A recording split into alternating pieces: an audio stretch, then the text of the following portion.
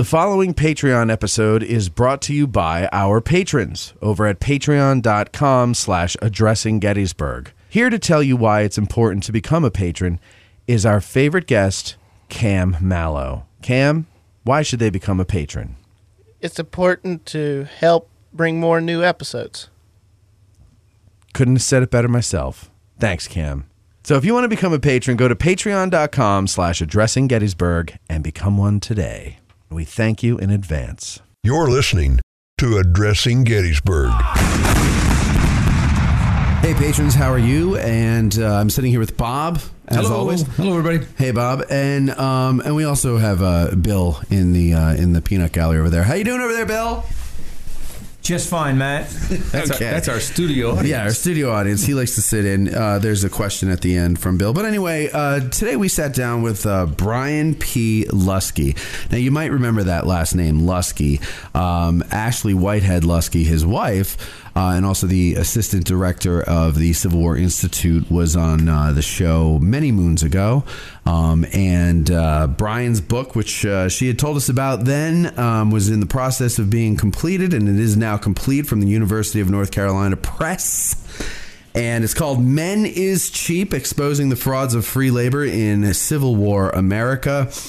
I thought that, uh, you know, full disclosure, Bob and I got this book four or five days Couple ago, a couple days ago. So we don't have the uh, we didn't have the time to read the whole thing. So I said to Brian, Brian, uh, what would I read if I don't have the time? What do I read? And he said, Introduction in Chapter Four. So I told Bob, and Bob read Introduction and Chapter One and the conclusion.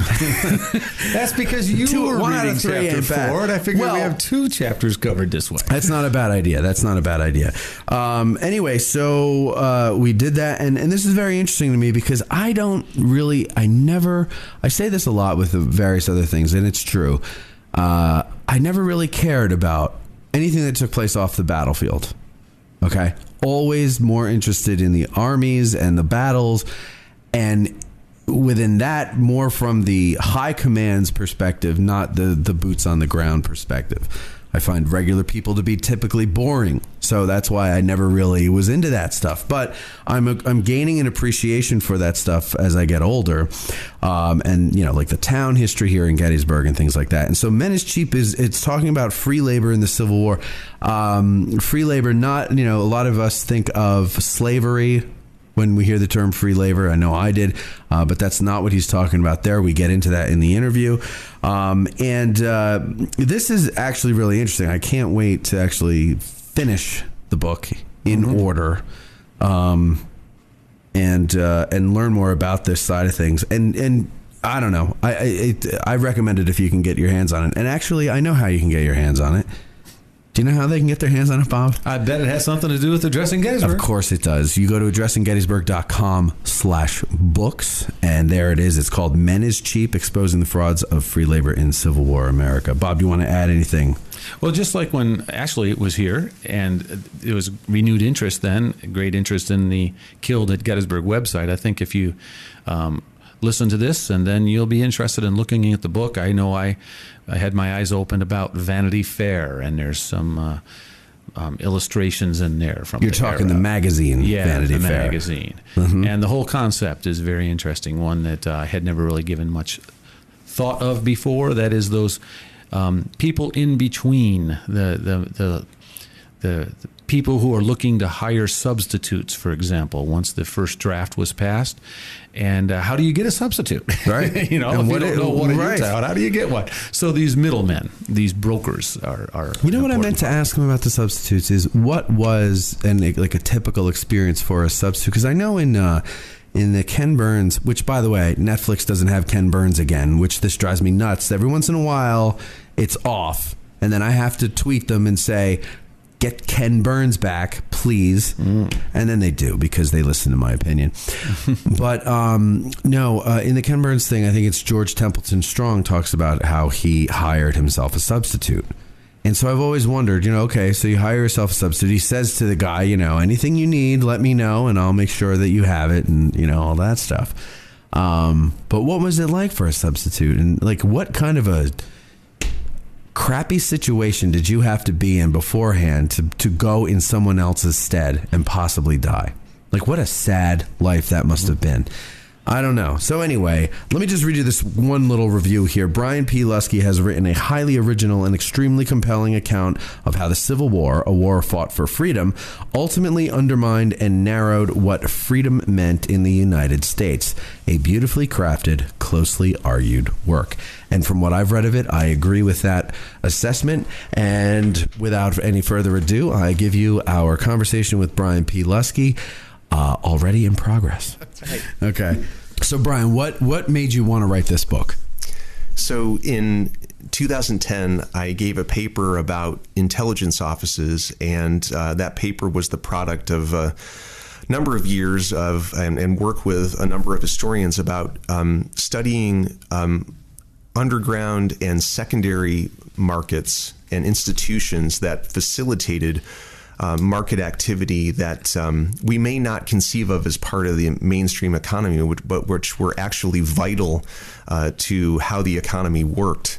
Maybe maybe what it was an, an intelligence office. What is that? An intelligence office is a is a labor agency. Okay, so like a temp Um, agency. Yeah, and it and it um, it's a it's a place for for workers and employers to come together. Um, to um, uh, to make a, a, a contract, a bargain uh, f- for labor, typically um, uh, domestic servants um, and and household mistresses um, uh, would would be negotiating with a labor broker who was the proprietor of an intelligence office um, in cities. And this institution uh, certainly was really important for um, um, in, in an anonymous labor market. Um, for for workers to find work and for employers to find workers, um, and so it was, it was an absolutely necessary institution. Um, but the broker often um, was understood to have to cheat both employers and workers. Um, Okay. They they might. Um, uh, uh, take a take a fee from uh, workers who paid that fee thinking they were going to get a job out of it and the broker might not be able to do so. The broker could say well that's the state of the market at this time. Um, workers might be sent to an employer who had also paid a fee um, and they may be disappointed with the workers they got. Um, and the broker was to blame. And so for in, in this way this is a way for uh, contemporaries to make distinctions between um, what they considered legitimate and illegitimate uh, market behavior. Um, but as an institution um, that facilitated the workings of, of the wage labor economy as a system, um, um, what the intelligence office keeper does um, for employers is to um, help them distinguish the ways in which they're operating um, by their own self interest. Uh, from the nefarious deeds of the broker, and to say what that broker is doing is bad, but me taking advantage of vulnerable populations of workers, Irish immigrants among them, um, that what the, what the employers are doing isn't as bad. Is it kind of like in the South where um, those lousy slave traders, but you're you need those slave traders if you're a white slave owner? I mean, Precisely. Yeah. Um, it's uh, blame the middleman Right. is is this is the story here. Um, these are these are absolutely necessary figures, but um, deeply hated ones. You know what it reminds me of is uh, I, I spent some time trying to get into uh, show business, like uh, video production, things like that. And I remember one time going to a talent agency. And they're like, "Oh yeah, yeah, yeah. You know, you can get your work. Uh, we got people on Law and Order, and this and that and the other thing. And oh, great, okay. So you need to just get headshots. And and I knew that ahead of time, so I, I brought them with me. I had a friend take pictures, and they're like, "Oh no, no, no, no, no, no. We we we, we got to get more professional looking headshots. Uh, we have a guy who's like six hundred dollars, so six hundred dollars for the headshots, and then and then this amount of money to be you know one of our to be represented by us and everything like that." And I was like, and I already knew ahead of time because I have a friend who is in the business, and he goes, "Never go to an agent who says you have to pay for him to get you work." There you go. and and of course people that do go i don't know how those are legal today to the, in this day and age because i mean they must get enough people work but like it, it's just shady, you know, because you shouldn't have to pay to get work. Uh, Man, I thought you were going to say as soon as they saw the picture, the headshot of you, they said, "No, no, you got to get a more professional head." they said you should just get into podcasting. so here we are. yeah, that's that's how we got here. What is what is the Enrollment Act of 1863? The Enrollment Act of 1863 was passed in March of that year in an effort by um, the U.S. Congress um, to um, to pass a draft um, uh, whereby. Um, uh, and they set up different classes of, of the male population uh, to um, to decide who would be drafted first, um, with an effort to fill um, Union armies which were depleted um, by um, unsuccessful and costly. Uh, in in human and financial terms, military campaigns um, previously in the war. Um, uh, it um, it included um, uh, uh, a commutation um, clause or fee that allowed drafted men to pay uh, three hundred dollars. Um, to the government to uh, absolve themselves from from this this call to, to service, So Um, so let- or okay. they could, or they could hire a substitute Okay. to serve in their place. So three hundred dollars. Mm-hmm. And and what was the what was the average rate for hiring a substitute? What what what would you have to do to hire a substitute? So this was, uh, in fact, the in uh, why the commutation fee was important, and uh, President Lincoln um, uh, wrote.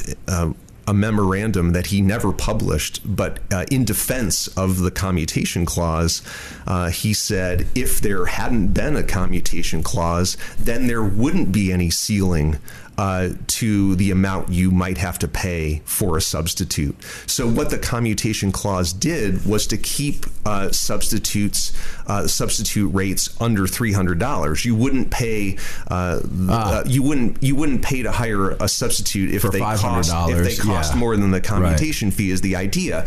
But um, opponents of the commutation clause, of course, said this is very clearly um, evidence of a rich man's war and a poor man's fight, and um, uh, that lots of people did not have three hundred dollars uh, right. Sitting so that around. what was the that what was the uh, uh, average income back then for people?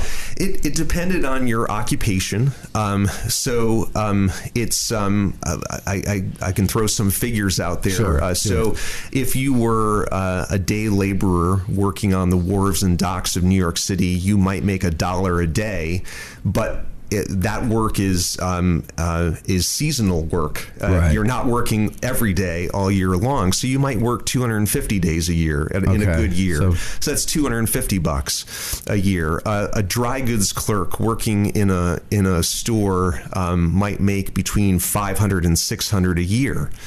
Um, so you're talking a, a, a sizable chunk of money, Right. Uh, three hundred dollars. How about a farmer? Like, what would they- Yeah. Well, um, it depends how big your farm was. I guess uh, Okay. again, I, I, I hedge on all these questions. If you're a farm laborer, um, you might make um, uh, in some rural New York counties uh, twelve to thirteen dollars a month, which which, Which is should comparable ring a to a bell. That's soldier, right. yeah. That's right. Yeah. Uh, with the with Except the except with you the don't get your food and that's your right. clothes and- or That's shot right. at. Or That- shot at, Yes. So so there is, you know, I think I, I talk about this a little bit with uh, some of the characters in my book that they may have made that calculation as how much am I making now as a, as Right. a farm laborer and I might also get ra- a ration along Yeah, with being yeah. a soldier so that might might seem like a good idea uh, there's a soldier named uh, Charlie Bowen who um, who joins up uh, in the in the regulars uh, and is in New York City and he tells his wife in a letter home that he he had met uh, a, a, a guy who'd become friendly with another soldier who had been a clerk making six hundred dollars a year and he said to his wife you know why why I don't understand why he's here you know so that does point obviously to the to the ideological motivations Right. of of, Sure. of the war as also being important as as economic Yeah. ones Um, Brian, you mentioned before a rich man's war, a poor man's fight. Um, can you talk about that phrase? Does it capture any truth or does it mislead? A, a little of both? It's certainly been an important uh, way historians have uh, have um, talked about um, the, the, the, the demographic makeup of armies. So um, there there is a uh, an important recent book by William Marvel called Lincoln's Mercenaries, which argues that in fact, yes, it was a rich man's war and a poor man's fight, and he did great uh, research in the census. Um, and in muster rolls to uh, to show how um, there were a lot of impoverished men um, in industrial districts of the North who did who did sign up because of economic motivations. Um, I, I think, though, that um, it's a it's a question that may never be answered because it's it's very hard to parse apart um, ideological motivations from from economic self interest. And I will say that um, uh, I I believe that um, there are all kinds of different um, ways to understand um, soldiers as signing up for economic reasons um, that might include deprivation, but also um, ones of ambition, um, and that they, they see the war as a means to to succeed. Um, and I, you know, in in my book, I repackaged that that phrase as it's a it's a struggle. The war is a struggle um, that um, that that could make men rich um, because other people were poor, and so I'm I'm talking about all kinds of um, ambitious men, uh, speculators, brokers, um, and that includes soldiers and officers who um, who understood that um, the war for union, the war for free labor ideology, uh, was one in which um, the, the the ability of employers uh, to to employ to hire the workers of their choice was the best way to become more independent, more, more free. You mentioned free labor ideology. What what is that for the listeners that don't know? Sure. Um, it's an ideology which, um, in the 1850s, uh, galvanizes a new political coalition, the Republican Party, around the idea that um, that wage workers um, could um, save their wages um, through hard work and perseverance, um, and become uh, independent themselves, and and uh, in fact employ others. Um, it it posed no um, inherent struggle between labor and capital. Um, and in fact, it was understood at the time that um, there was a harmony of interest between um, employers and employed people.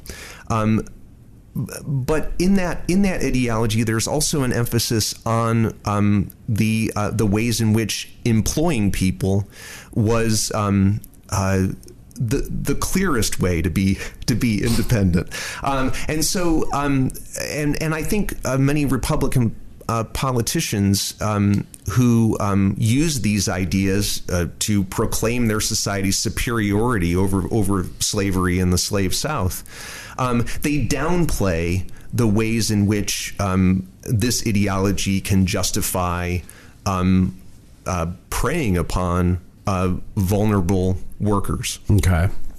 Um, they use the term free labor too. So uh, until I read this book, I always associated the term free labor with slaves because I don't have to pay Yeah. for that labor. Right. Right. My students too. Right. Okay. I think I, I guess that most people might do that. So in this Yeah. in this instance, it means something different. Can you go into a little bit more of that? Sure. I, what I mean, uh, whether I talk about free lab- labor ideology or free labor, are is the the freedoms that wage labor are supposed to confer upon the people who are engaged in that economic system. Okay. And so, um, uh, as, as I said, uh, politicians are uh, want. Um, common, ordinary white Northerners to um, um, to understand um, the ways in which they can be free in ways that enslaved people could not. And in fact, the the alternative is a society where um, slaveholders, an, an aristocracy, had um, amassed um, far too much capital uh, in ways that threatened um, the the ability of wage laborers and wage labor employers to compete. Um, uh, and it, it, it threatened northern society. So, and and I talk about this in the book that um, uh, certainly this war for union was a war to um, uh, to destroy this aristocracy, this their aristocracy of, of of slavery's capital. Right. So there, there, there's a point where these intelligence offices go from being a civilian employment agency to almost like a, a recruiting office. Would that be fair to say, or or how would you characterize it when the war starts? yeah. I mean, So we've talked about these uh, intelligence offices as being both necessary in antebellum America and a scourge. Yeah. Right. A really a really terrible thing. Um, and despite people uh, uh, northerners hating intelligence offices i think it's it's it's at least mildly ironic that that's the institution they turned to during the war um, to facilitate the movement of workers in various ways, whether that be recruiting soldiers um, and uh, brokering deals for substitutes and moving moving those people to uh, war fronts in the South, um, to the ways in which benevolent associations uh, in the North and in Washington help move uh, a variety of populations uh, from the South. Uh, that would be uh, Confederate deserters, um, white Southern refugees. And um, uh, formerly eman- uh, formerly enslaved people uh, from south to north, Okay. um, to serve as uh, as domestic servants and and other uh, agricultural workers uh, in northern settings uh, Okay. during the war. So so the intelligence office becomes a way to um, to mobilize and um, and move laborers, and very often uh, recruiters and brokers come in for the same criticism that they that their counterparts did before the war. Right. Uh, but again, these people, these brokers, become the the the the necessary individuals that help recruit labor, whether for war or for home, uh, that helped um, win the war. And um, to win what the war was about for northern employers. so who who are some of these brokers that you uh, explore in the book, and what are the shady things that they did? Give us some examples. Well, I talk about a, a variety of characters who appear um, throughout the book. I think um, uh, when you when you think about economic history, and you might be confronted as a as a reader, like, wow, that's that that might be over my head, or like that's going to be about conflicting civilizations. That was me.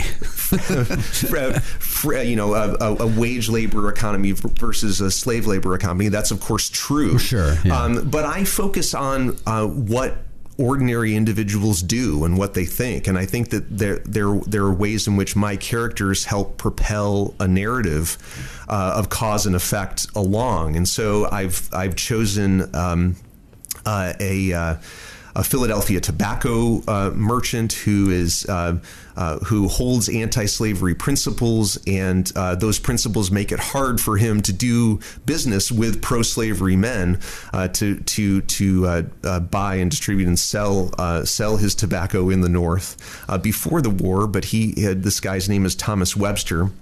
Uh, he becomes a vital uh, recruiter of, of African American soldiers, even as toward the end of the war, he's trying to serve his self interest by getting back into uh, the Southern tobacco mar- uh, market once Union armies uh, destroy the Confederacy. Um, there are um, uh, Union officers who um, one's name is Charles Brewster, who served in the in the 10th Massachusetts. Um, he comes to the to the realization that the way to become more independent is to become an officer, and one of the perks of being an officer is being able to to um, to employ a servant. And fortunate for him, his regiment uh, in early 1862 is located um, on the outskirts of Washington D.C. Um, and there are uh, enslaved people who are um, fugitives from slavery arriving in his in his uh, regiment's camp. So he's able to um, use that person's labor uh, to um, to become more independent himself. Uh, there are uh, ordinary soldiers who dream of employing uh, uh, African American women and children, sending them home uh, to help uh, their their wives and and children. Um, uh, deal with the uncertainties, uh, the hardships of war.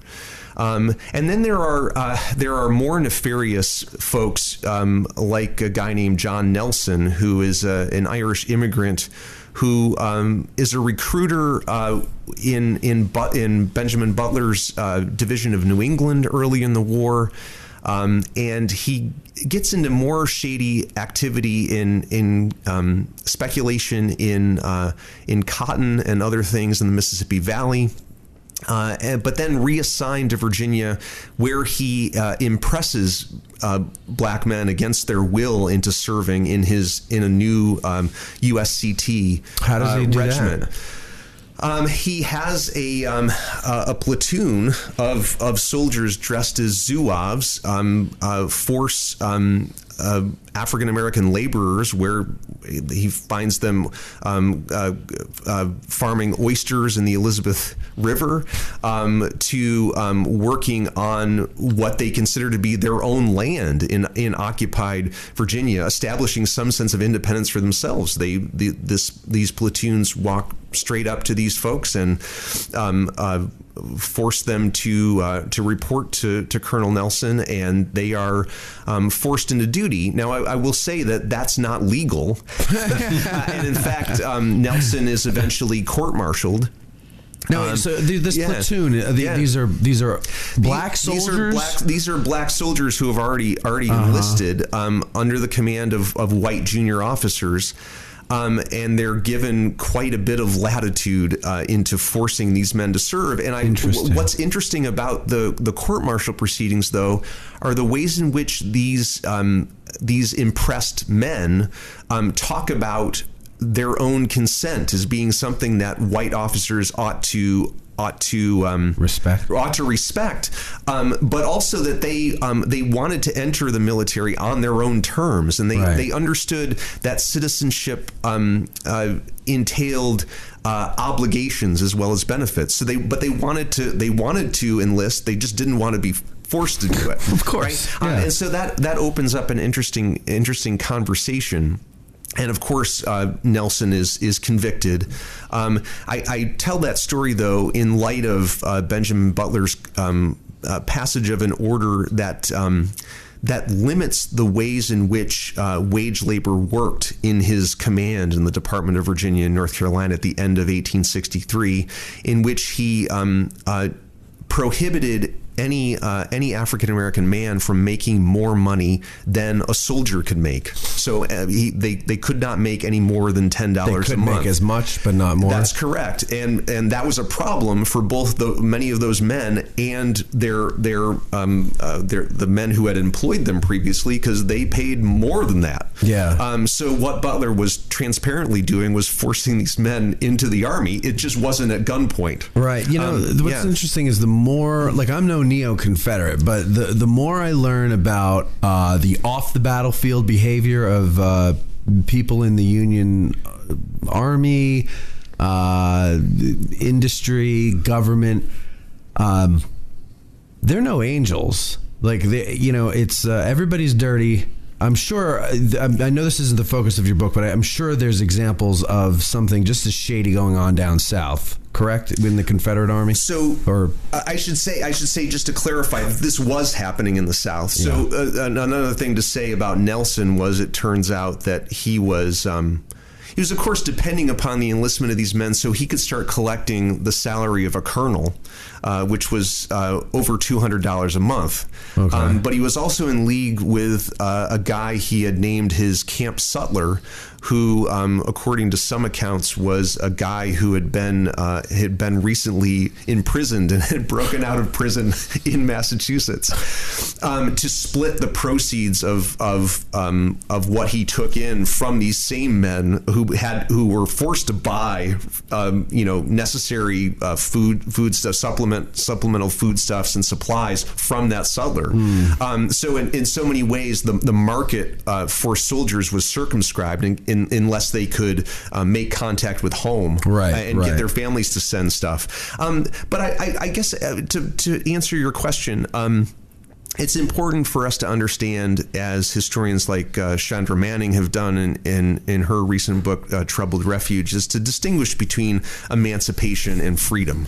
Right, Right. okay. Those were those were different things. Yeah. Um, and uh, I think we should understand that um, anybody working in in an economy that w- we might label as capitalism is is dependent to various extents on other people's labor and other people's capital. Sure. Right? Um, the, the quest here is for more independence. And in that chapter about impressment, I'm talking about um, recently freed people, or they may have been uh, free and living in, in a slave society, um, uh, black men and women who um, were succeeding in becoming more independent by virtue of the Union Army being there, right? Um, and they were willing uh, to certain as a certain extent um, to do the things that the Union Army wanted them to do um, to um, uh, to show that they could be good citizens too. Um, uh, but there are there are limits to that, and there was a great deal of, of frustration among among African American men and women who appealed uh, to the only institution they could think of to um, to rectify the situation. That was the army too, Right. right. Uh, so the very same people who are uh, impressing them are the people they have to go to to try to, To get some justice. Get some, Yeah. That's correct. Yeah. Um, so uh, it, it it doesn't. I, I guess I would say I don't want to suggest that it it diminishes um, the. Um, uh, the professed goals of the Union war effort to talk about the self-interest of people within uh, within the armies of that of that nation, um, and in fact, um, you know, leaders going up to Lincoln understood that that self-interest mattered, Right. um, uh, and we could just speak to it um, by um, saying that uh, Nelson had to leave his command in the Mississippi Valley because a new commander, Nathaniel Banks, uh, knew that he was engaging in cotton speculation illegally. Um, and he gave him an option uh, to um, to to be court-martialed there or to get a, an, an honorable discharge. And of course, Nelson t- took the latter. And he and he went. Uh, he didn't go just anywhere. He went to the White House. Um, and um, had an interview with Lincoln, and Lincoln wrote a, a short note um, that is that is actually in Nelson's court-martial file, um, uh, telling Stanton or asking Stanton, "Isn't there some command we could put this guy into?" He's telling me, "I've heard," he says, uh, from the best authorities, which of course was Nelson himself and probably General Butler, uh, who I think wrote him a, a reference letter, um, that he was the very type of guy who got this important job done. That is recruiting African American men when the nation needed them. And so, So, um, like, can we forgive him for his sins because he does this well? Is I- that he uh, Lincoln didn't know about his sins. uh, that, was- that was also an important part of the of the equation. Um, but Lincoln needed men like Nelson. He had he had to have them um, in order to. These recruiters were absolutely necessary um, to um, to ensure um, a larger army. And Lincoln always said to to uh, political associates who said, "Well, why don't you rescind the Emancipation Proclamation now? It's it's creating pol- political havoc for you on the home front." He said, "That's that's impossible. It would be unjust, but it would also um, really imperil our war effort." We- Right. We, can't we can't turn our back on emancipation because 180,000 or 200,000 African American men have been putting their lives on the line for this. Did, did, did I read in the book that uh, initially he had gone to Congress and said, uh, you know, I want to emancipate the slaves, uh, come up with some money, I want to send them back.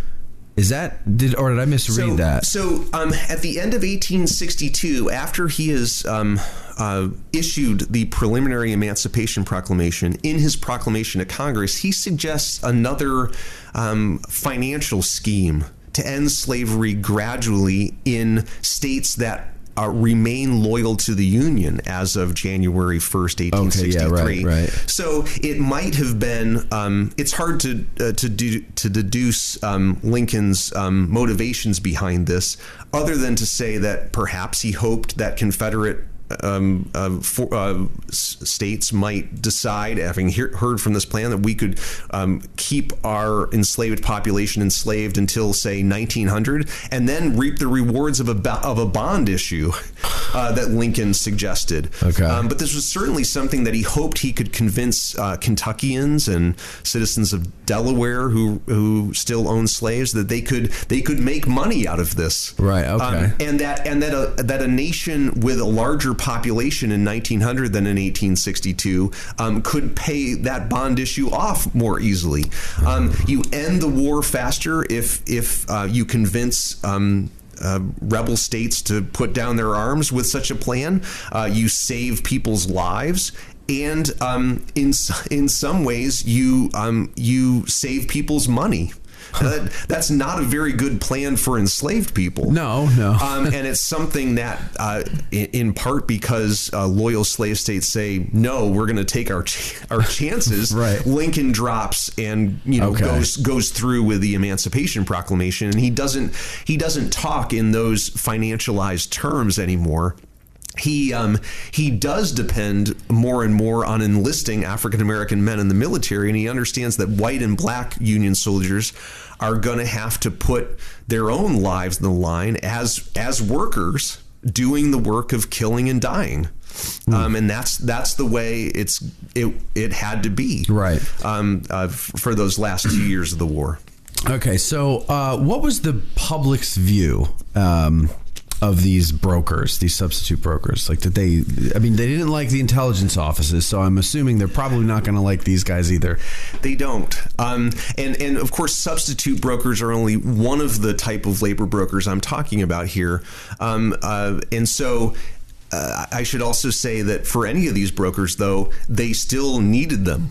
So the substitute brokers, if you're a drafted man, you might not know somebody who you can hire to go in your place.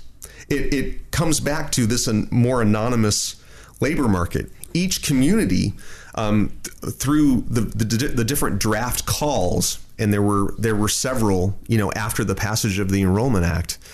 Um, each community was given a quota to reach. They had to they had to fulfill that quota, or else a draft would happen in their community. Oh. And so their their first goal, town commissioner's goal, is to convince um, local men to enlist voluntarily. And so one way to do that is to um, raise taxes in a community or put together um, kind of um, uh, pools of money. Uh, to give to men who will decide to do that, and A of course, bounty. yeah, Yeah. yeah, and so that might convince people to enlist um, voluntarily, and thus uh, negate the need for a draft within that community. If there aren't enough men, though, they might have to um, look to bigger places to find a supply of laborers who might be willing to go. And if you're in upstate New York, you you, you're not going to know necessarily know um, uh, New York New York people in New York City who who might um, be willing to do this, Right. and so you need a broker to to facilitate your um, your community's uh, uh, goal of of reaching your quota. Um, and uh, drafted men have to uh, have to use brokers' offices uh, to find substitutes to hire as well. So let you, you mentioned a guy, uh, Henry Walker. Yeah. You don't mention him, but you go into him. Uh, he's from I think Oneida County, New York. He is. and um, he's a farmer. His son lies about his age in 61 Yeah. and joins up. He says he's 21. He's really like 16, 17 years old, something like that. That's correct. And uh, ends up dying of typhoid fever. But he sends letters home and he tells a story about uh, one of his comrades uh, stealing his stuff. And then in what, 62, I believe, uh, Henry, the father, he enlists. Now, he's expecting this $50 bounty from New York State, $100 from the federal government, $13 uh, pay, which would be a month's pay in advance, and then $2 walking around money. Right. And what does he get when he actually enlists? Not that. it's fair, it's fair to say it's it's hard to tell exactly um, exactly what he gets um, out of that. Um, He doesn't I get the full. You made the point though. He Yeah. doesn't get the full amount, He and he's doesn't. told what about the rest that it would come eventually. eventually. So by the um, brokers. N- No, um, he would he would get it through um, various local and state organizations. Um, there's some confusion in the records because the the regimental history um, suggests that the men got this money when they enlisted. Of course. Um, and so that's the official line. But uh, Henry Walker's correspondence with his wife Persis um, shows that uh, he was still waiting for the state bounty. Or maybe he's they- just withholding and having fun No. while she's back at no. no, okay. he was not. He was not that kind of guy. Oh, all right, all Uh, right. and I don't think Persis would let him be that kind of guy. Um, uh, he wanted her uh, kind of the way in which ordinary soldiers might deal with that, um, with being unable to get the bounty immediately, was to convince neighbors. Um, uh, in economic transactions, um, to basically open a line of credit on the basis of that eventual payment of the bounty. So um, the the understanding would be, I will pay you, or we will pay you as a household when that bounty money arrives. Right. Yeah, he encourages his wife to do that. Yes, as you said, right? Yes, that's yeah. that's correct. So um, this this uh, this county, Oneida County, um, he he's from a town called Forestport, north of Utica. Um, they put they raise taxes, uh, um, or, or I, I, maybe they issue bonds um, to um, to raise money for for bounties. So they're a community that does this, um, and so soldiers are getting part of the um, the advertised payment. We all know the recruiting posters with all the the payment information on them, but it is I think important to know that um, that soldiers didn't get what they what they were promised, Right. and they were pretty frustrated about it. Um, but that um, these these promises to payment, um, as well as the payment uh, themselves, were the very things that were getting men to enlist. Um, uh, and so uh, there, the, the other thing that um, that troubles soldiers is they're they're promised their monthly pay every other month, so that you get a two month uh, pay packet. Okay. um, it's like uh, getting paid bi-weekly almost. yeah, yeah, except, except every every two months. The problem was that that um, that in reality, um, at at several junctures during the war, that period extended to four to six months and beyond. Why? Um, what What was the trouble that they were having? When was it being intercepted? Uh, in in, a, in the most charitable way I can describe this is that soldiers on the move made it harder Oh. for paymasters to get To keep up. to get to them. Um, but it it it also speaks to the bureaucrat, uh, Bureaucratic. bureaucratic snafus of of the war, and Yeah. so um, uh, they had to um, open lines of credit with sutlers, with junior officers, with with with senior officers too, um, who would um, who would give them loans uh, so they could get by.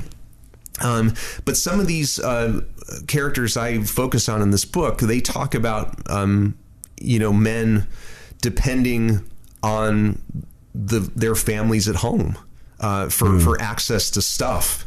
And they're very, um, they demonstrate uh, themselves to be very savvy uh, consumers. You know, they, they don't want just, um, uh, you know, a particular product. They want a particular brand name product. Yeah. Or, you know, so and they and they they say you could get this. Uh, this is true of Brewster when he's trying to tell his mother about what he needs for his new lieutenant's uniform and the sword, the scabbard, and everything. You can get these things at the manufactory in Chicopee, which is you know 15 miles from home. So Yeah. and and he you know he he's working with a particular tailor, Right. Um, and he you know this is someone he's known as his his entire life, uh, who's made clothes for for him and his family before. So um, if especially if you're a junior officer, um, you're going to have better better contacts to a home market than a than a ordinary private would be. And so somebody like Walker um, sets up a side business in repairing Right, shoes, right. and that's the way he um, he um, he makes money in a in a time of of, uh, of where he's deprived of wages, even though his fellow comrades are also, also deprived, also yeah. deprived of wages, and that means that Walker often has to wait uh, for his for his book debts to become cash. So it's like everybody's waiting on everybody to get paid. You, I, I think it's him. Um, you mentioned that he writes back and, and he want. I forget that what the item is he wants some piece of uh, some item for his shoe repairing business, and he says something, like, or maybe it's the other guy, maybe it's, but anyway, Yeah. whatever the item is, he says, you know, I had one. Uh, you can get one for around ten dollars.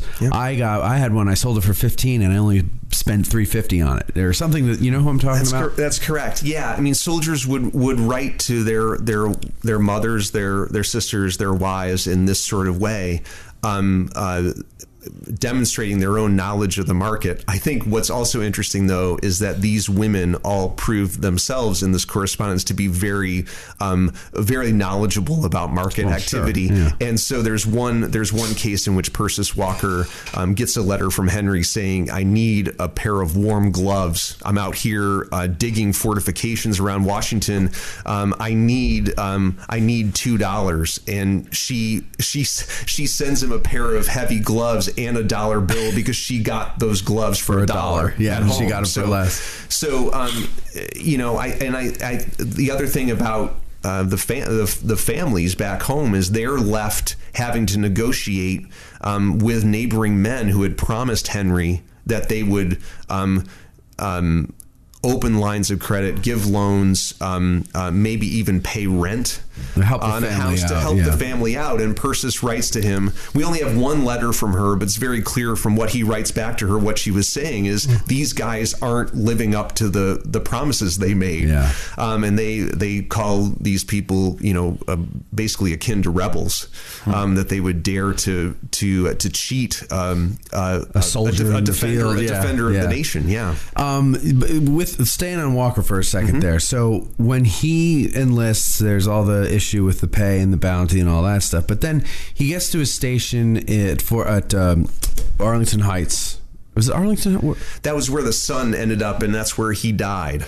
Oh, okay. So Um, where does Henry- Walker go? So Henry, Henry, yeah, yeah. Henry Walker um, serves around D.C. Um, uh, and then is um, is stationed down uh, in uh, of Folly Island, South Carolina. So he Okay. um, uh, he was in the group of men who, uh, among whom the, the 54th Massachusetts attacked Fort Fort Wagner, but then moves back to the the Virginia coast uh, to to Yorktown. Okay. Um, before then being uh, deployed in the um, uh, the Bermuda Hundred campaign and the campaign uh, toward toward Petersburg in 1864. Yeah. when when he does get down to I think it's the DC area at first, Yeah. Um, he experiences the same thing his son did, in that someone steals his stuff. Yep. Yep. And and that must have uh, like that that's that's sad. Like you, I felt bad for the Walker family. I, I know, don't. they- I don't blame you. Um, Yeah. there's a lot. There's a lot to feel bad for them about. Um, that's not the only time that that Henry gets money stolen from him. And I should say that he, among the characters, is the most um, the most clearly. Um, uh, kind of, he's the one who believes in free labor ideology the most in in in a very very um, uh, almost naive way. Um, he tells his wife and his daughters who remain at home, you know, we all have to work hard. Um, that's the only way we're going to prosper. It, it seems clear that they're they're farming rented land. They aren't landholders themselves. They they don't they don't measure up to that standard of independence uh, through land ownership that was so important to Americans at the time. But they're working really hard and they're following the precepts, kind of you know akin to you know Benjamin Franklin and Poor Richard's Almanac, that sort of Right, thing. right. Um, um, and he does get he does get cheated out of out of um, out, of- out of his out of his money from from time to time uh, by comrades who we can appreciate are also have their have their backs to the wall economically too and they have they have families back home that's not to justify their, their No, yeah, theft but- but uh, we can understand maybe why they why they did it. Um, but um, what's also interesting and may, maybe doesn't it certainly does not speak so well of Henry Walker um, that when he's when he's stationed in Yorktown in the summer of 1863, he's stationed to um, as kind of a guard on a guard duty to protect um, a, a slaveholder's plantation who had who had just recently um, uh, um, pledged his allegiance to the United States. Um, and he looks out at this um, this slaveholder's field and sees three uh, enslaved women working in in a, a garden and he writes to his wife and says, "Wouldn't it be uh, wouldn't it be great if one of these quote unquote black and shiny women I, I could I could take one and bring bring one home to work for you? And so, even as he's kind of displaying all of this faith in free labor ideology that workers will advance. Um, at some point if they just put their nose to the grindstone if i can just i can just repair that next pair of shoes and get this money to you and not have it stolen like things are going to be better for us. He kind of he kind of looks toward emancipation as the moment in which he and and persis can uh, can activate um, an African American w- woman's hard work uh, to serve them To serve in, them, in their yeah. que- in their quest for household independence. So I think that you know even there in in that example of Henry Walker, you see um, kind of the the ways in which the the um, free laborers ideologies f- focus on uh, the the the ability of employer to get workers that they that they that they craved Yeah. uh, was the most important thing. Yeah. What is the uh, Citizens Bounty Fund? Duh, fund. Yeah, um, the Citizens Bounty Fund was was set up by uh, by Philadelphians, uh, a, a, a fund chaired by uh, a character in my book, Thomas Webster.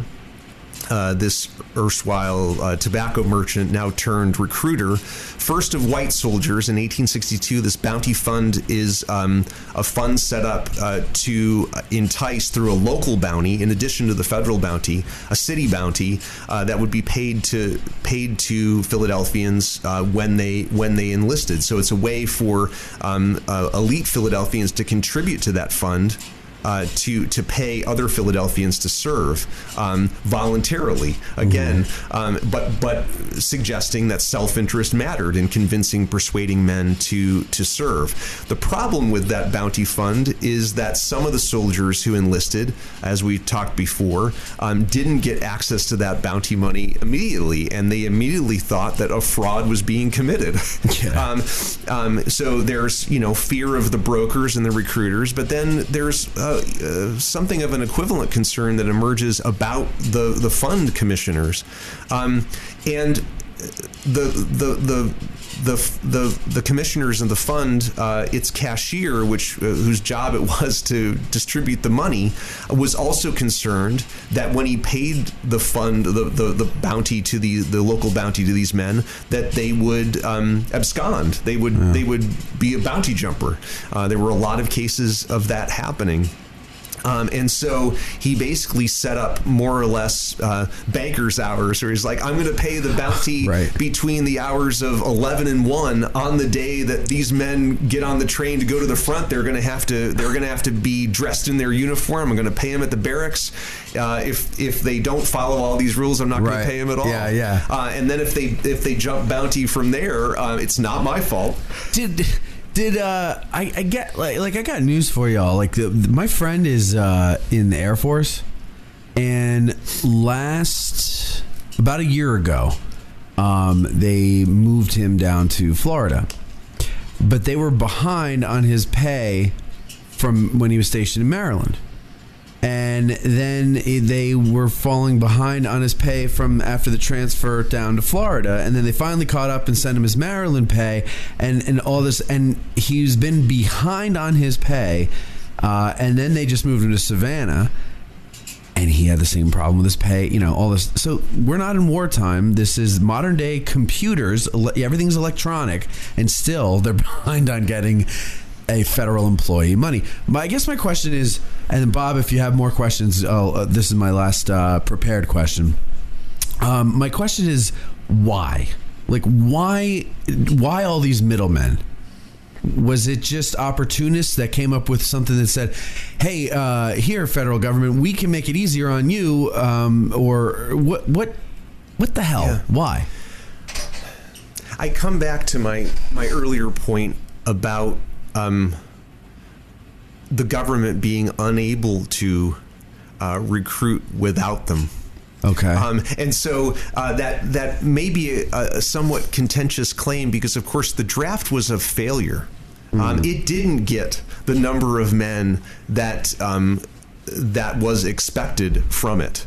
Um, uh, but these these so that they in an anonymous labor market, you needed middlemen like this. Um, I will also say that brokers could always, the substitute brokers especially, could always say that um, they were working for the nation's interest. All right? um, by trying to fulfill the um, uh, the draft. Um, they were doing the nation's bidding, and I, in fact, in my book on the on the the the, the opening pages, there's a, uh, a a photograph of some of these bounty brokers, substitute brokers, who are um, depicted outside of their office, and there's a huge American flag flying above them. Right, right.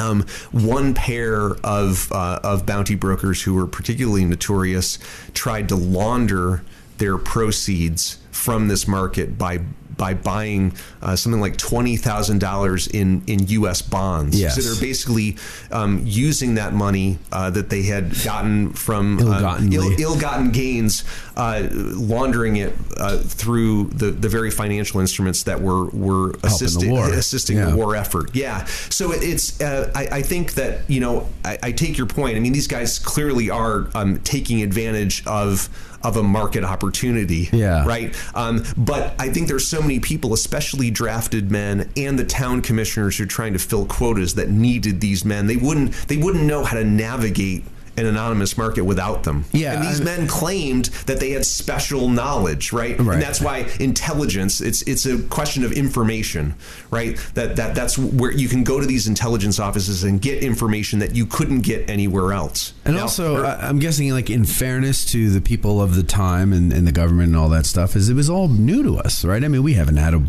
big war like this where we needed drafts and. Am I correct in that? Like they, they just Well- didn't know what to do. there were earlier drafts, uh, but I, I think that uh, what I what I contend in the book is that this institution, um, excoriated, hated as it was, was really the only the only institution that people could think of that could that could serve as a model, Yeah. uh, for moving. So it was uh, the devil they know. yeah. Okay. Yeah. Um, I guess it didn't. It didn't stop them from complaining about that devil. Of course not. We're And Americans. As, as I said, as I said, um, what the what the substitute broker allowed. Um, employers to do is to say look at i mean what i'm doing is serving my self-interest. If, if they were honest they would say well yeah i'm trying to look for a vulnerable person who can do this work for me. Um, and some some of us might say well that's you know not maybe the best thing you could do. But but they could say look at that substitute broker. What that person is doing is horrible. Right, right. You, we can all agree that Yeah. what they're doing is worse. Yeah. um, but I think they both reflect, they both illuminate what wage labor was.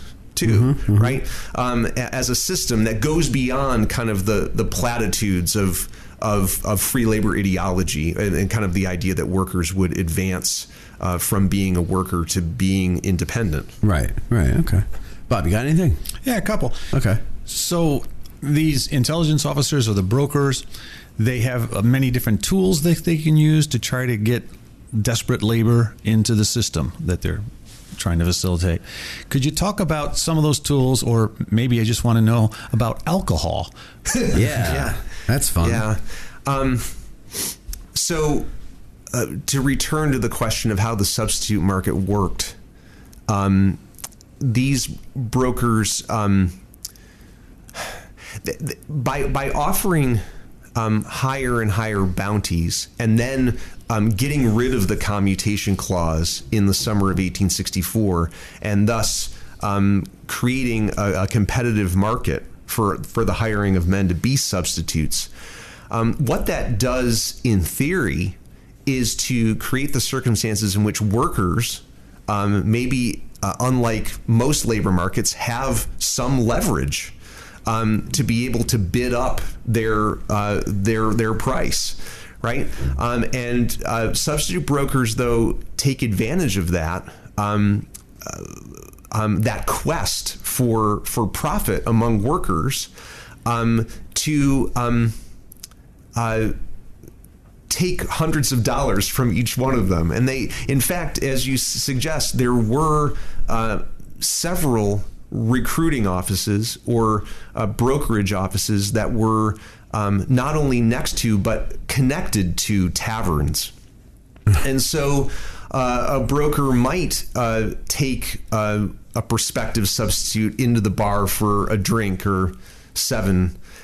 and and um, and tell that mark that they were just going to go into the next room to talk with uh, an army or navy official um, and work out um, uh, a, a, a payment package in which the broker would be paid most of the most of what was owed to the substitute. The substitute would get um, a smaller payment usually of fifty or hundred dollars, and the broker would say you will be paid um, the rest once you get on board the rendezvous ship. And of course, they'd wake up in a drunken stupor, wonder, you know, wonder how did I get here? and and and then um, you know the reason why I, I know about a lot of these men is that a, um, a, a Union Army, a War Department uh, detective named Lafayette Baker was sent to New York City to investigate. Uh, and he was able to apprehend a, a, a, fair number of the brokers and um, the uh, the bounty jumpers. Uh, in New York City and, and the surrounding area. Um, but by the end of his time there, uh, Baker's um, Baker was hearing news that um, there were recruitment agents, substitute brokers impersonating his detectives and basically um, uh, stopping ordinary people at, at gunpoint or to say you're coming with us oh um, unless unless you pay us off right now. Um, and so even even then you know uh, there the this this scheme changes shape changes its face right? Um, under these circumstances in which they're being investigated they take on the persona of the investigators. And that's a way to continue the operation. Um, but at the same time Baker is also hearing news hearing hearing from people saying, um, uh, I I um, um, I, I, was in the wrong place at the wrong time. You know, I'm I'm not really involved in this. I got caught up with bad men, but I'm not really bad. And so there are lots of people saying, yeah, there's fraud in this market, but I didn't do it. okay. You know, uh, so that's the you know the other thing to complicate our understanding of this is that um, yes, um, people were being duped into service, it duped. Um, uh, uh, economically, leaving their their wives and families to try to figure out how to recoup the money that that they knew was owed to them. Um, but on the other hand, um, they what they what they didn't in, entirely um, fess up to some of these uh, people complaining to Baker was that they had entered this market so that they could profit. Right. Right. right. They they want access to lots of money. right. Um, and um, uh, so there's there's uh, certainly uh, you know multiple ways of, of looking at this this question. Are there any instances uh, that that are in the book now for just to be fair or not not fair, but just to let everybody know, I read the introduction in chapter four because we didn't have enough time to read the whole book before you came in. So, um, and then Bob, you read the introduction in chapter one. Is that correct? And the, some of the conclusion and some of the conclusion. Oh, okay, you got to the end. Um, but do, uh, do you have any instances of men? Because I'm thinking to myself, I'm you know. I'm not making a ton of money. I'm renting a farm. I'm working it. I've got a, a family. My son just died. And then I hear in, in the war, and then I hear, oh, I can get, you know, a couple hundred bucks bounty just for joining up. Um, that's that's going to go far for my wife back home. I also believe in the cause. So okay, I've been on the fence, but that's pushing me over. Now I'm going to join the army, and I join the army, and then they start playing all these shenanigans with my money. I want my money, right? And uh, so me in my head, I'm like, there is no tomorrow in this army. I'm gone. I'm done. You broke your end of the deal. And, and I'm not holding up on my end of the bargain. I don't care. And, and frankly, I don't believe in the system that is going to do this to the people who are going to fight for it. And so I'm done. Of course, I'll get shot, but whatever. My point is, do we have instances of desertions because of that, in protest of the the nonsense with the money? So there there were instances of of desertion. Um, the um, I guess where this comes out in my book the most is in uh, passages about uh, the soldier and the officer in the 10th Massachusetts, Charles Brewster, who condemns um, the um, condemns both the men who desert, um, who who have recently been paid bounties. So they th- this regiment is you know ravaged by the campaigns of '62 and '63. They need more men, uh, and in fact, sometimes Brewster is part of the recruiting party that, that goes back north uh, to to try to get uh, new soldiers.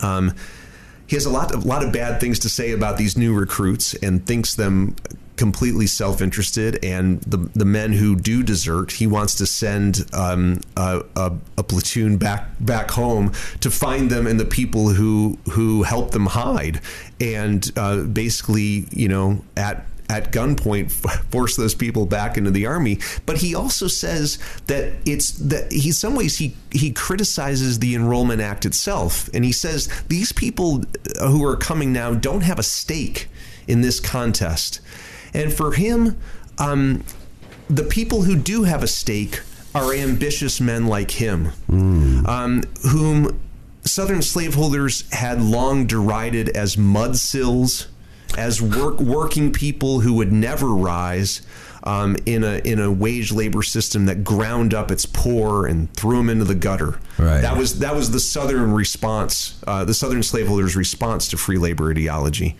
Um, um, he he took on that label of mudsills and said this is this is our revolution our middle class revolution against that slaveholding capitalist aristocracy Interesting. um, and so he felt like he and people like him had a particular stake in this struggle um, that that poorer people didn't have um, and so I, I think like I mean even like just saying that out loud I think tells us something beyond what we've known about. We've known the Civil War is about revolutions, right? It's Right, the right. it's the Confederate Revolution against the federal government. It's the the revolution among enslaved people. Yeah. To this is this is the greatest, as as the historian Steven Hahn has said, the the greatest and most successful slave rebellion that ever was, um, the Civil War. Um, but we don't often think of what northern soldiers were doing, and particularly this this kind of middle class employing class.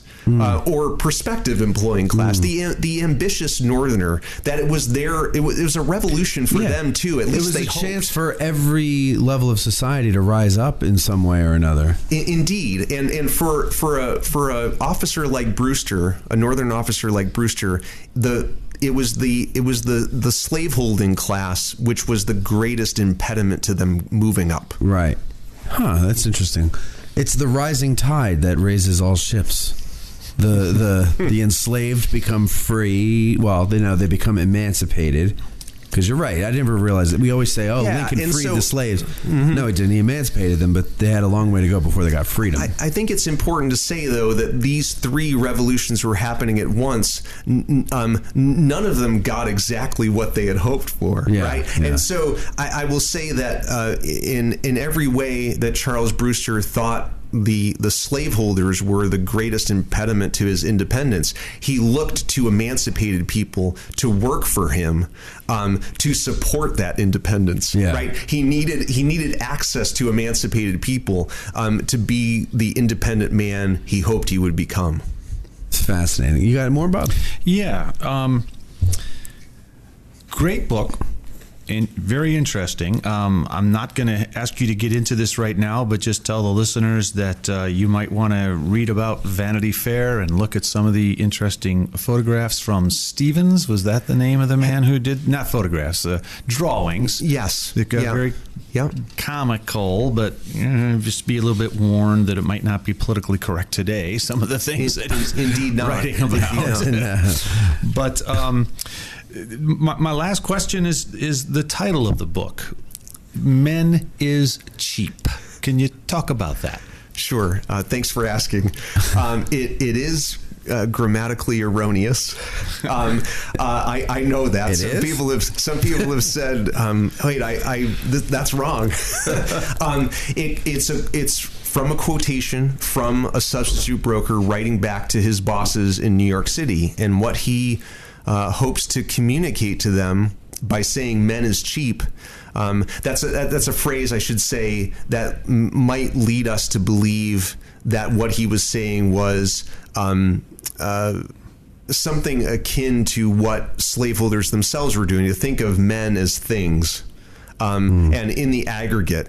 Um, and so singular, right? Singular uh, use of the verb um, that that they are cheap and, and, and commodities, and therefore should, we should understand this this um, uh, this uh, system of, of substitute brokerage as akin to slavery. And I say no, that's that's actually not true. That this is uh, very clearly uh, a wage labor system, and in fact, big business. Um, and what um, this substitute broker was was lamenting was that um, brokers were not able to get the amount of money um, from town commissioners uh, and and and other people looking for substitutes like they had before because he understood that those town commissioners had filled their quotas. Okay. There, there was not enough demand for substitutes, and that depressed the price of substitutes. And so that that was bad news for the brokers, and he wanted his employers to know that. Um, so that's what he meant by that. Uh, men is cheap. Kind of like a farmer might say, because there's too much corn production, corn is cheap. That's right. Right. That's Yeah. right. Yep. Um, Men is Cheap is available on the recommended reading section on our website, addressinggettysburg.com slash books. Um, I forgot my copy when I was leaving the house today, and I wanted you to sign it. So can I give it to Ashley and have her bring it home? Of course. Of course. Okay. Because I'm trying to get a collection going of all the, the authors I have on with signed books. University of North Carolina Press, and Correct. just, I mean, it's February 25th today. Just released. It just Yeah. came out. Yeah, That's correct. And and was was Men is Cheap the uh, title that you were always going with, or Yes, yeah, yes, Because I remember. Ashley saying something about uh, he's not sure on the title yet, but he's so far, yeah. But all right. That's pretty good. Anyway, so yeah, like I said, addressinggettysburg.com slash books, you can find the book there. And of course, if you purchase that, it's an Amazon link, but that uh, that helps us out and it doesn't cost you a dime more than uh, what you were going to spend on it anyway. So anything else? Bill, do you, Bill, our studio audience, Bill is here. Do you have a question for uh, Brian? Wait, Bill, come here. Speaking into the mic. So have have you looked at anything on the uh, the Fort Negley out outside of Nashville? Have you ever read anything about that or not? I have not. They they were. Uh, it didn't matter if you were free black or slave. The Union Army rounded them all up right off the streets and put them up on the hill where Fort Negley was built. And a lot of these a lot of these men perished because they were uh, kept in just absolutely horrendous conditions and fed poorly and worked hard. Um, and that was kind of a we kind of touched on that a little bit.